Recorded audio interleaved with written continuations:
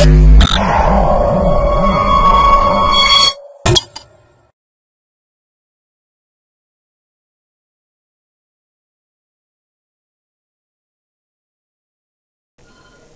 to myprojectbazaar.com where we discuss about the process manifold learning for object tracking with multiple nonlinear models.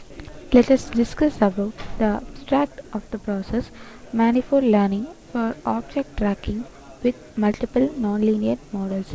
Tracking of the targets in the video has many applications in surveillance process.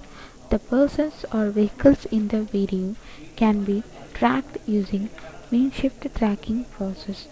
The selected persons in the video is tracked all over the frames in the video. The positions of the selected targets in the video were trained previously in each frames and the position of the targets in each frames were identified in the current video. Based on the identified new target positions, the target positions were updated so that the target is tracked all over the frame. The input video is converted into frames.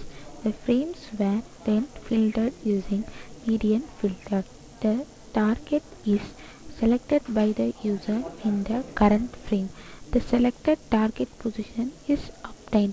The position of the target in each frame were identified using mean shift tracking.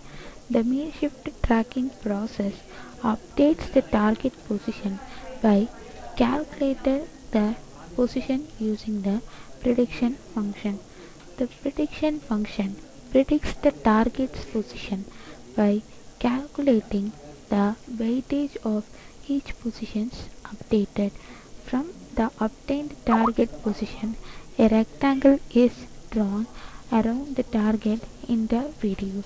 The performance of the process is measured by calculating the precision and recall of the tracking process.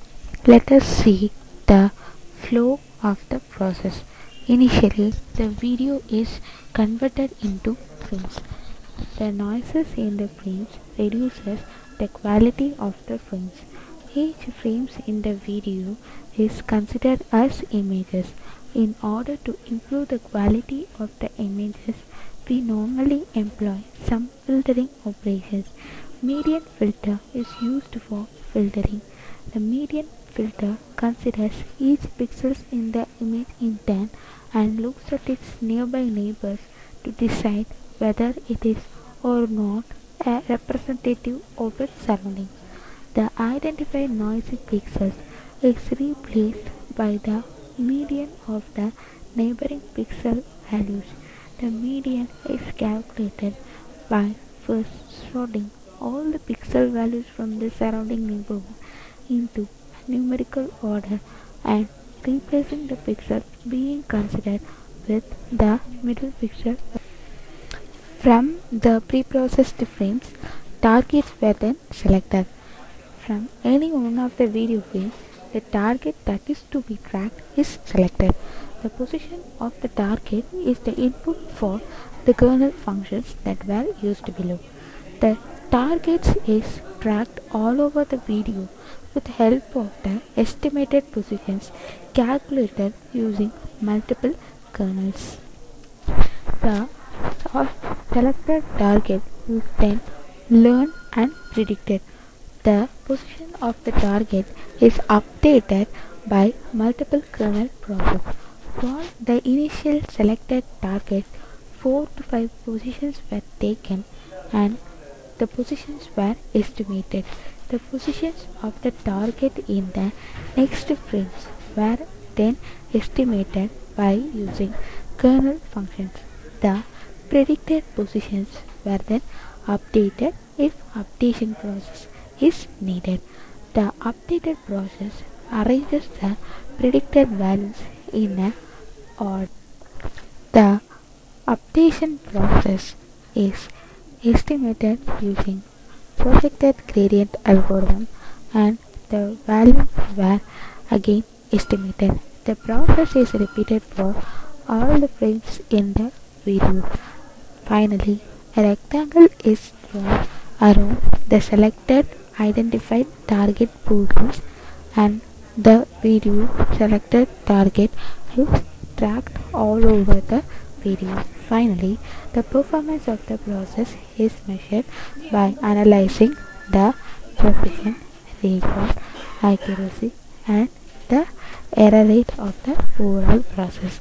Thus, we are modifying the manifold learning method with the help of mean shift tracking in order to select the selected targets all over the video.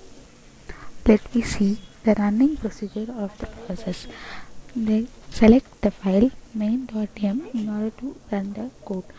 The code contains the user interfaces and other subfunctions needed to run the code and we have we have developed it in MATLAB 2009 version and the MEX compiler has to be present in order to run the code. That is the visual C++ compiler has to be present since we are using some MEX files for compilation and running process and we have developed the code for mean shift tracking.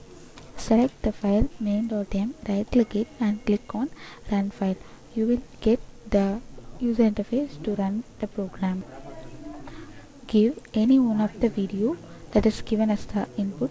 So in this video only we have given tracking five selected persons. So we will select uh, this video and the video will be loaded and it will be displayed here. The process is started for the next process will be the frame conversion. Now the video is loaded and it is running. After that the frame conversion process is done. Here the video is converted into number of frames and it will be rendered in the folder frames. After that we select any one of the target which is present in the video. Now for example we are selecting target 1 means the regions will be extracted and after that the tracking procedure can be started so when we start the learning procedure the learning is started. As we can see while the updation is needed in the frames regarding the object's position the update will be displayed and the other frames were remaining as it is. So this process will continue for all the frames present in the video. Now we have learned the uh, positions in all the frames of the video and uh, now we can move on to the tracking process. As we start the tracking process the object that is selected as uh, is tracked all over the video frame. So as we can see the selected first object is tracked completely all over the video. The tracking process will continue if the object does not goes beyond the frame. Then we measure the performance of the process.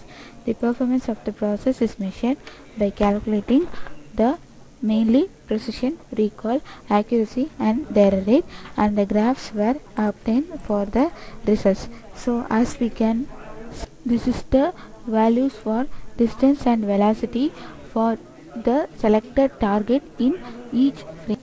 Then it is represented in a graphical form. Then the performance measures precision, recall, accuracy and error rate were all measured. So these performance measures proves the efficiency of our process. The obtained precision and recall were represented in the graphical format and as we can see the process has been increased comparing to the existing method. And then we finally measure the success rate and the accuracy. So as we can see all this for this also the performance has been increased comparing to the existing method. Thus we are providing a selected object tracking system that identifies the objects in the video with greater accuracy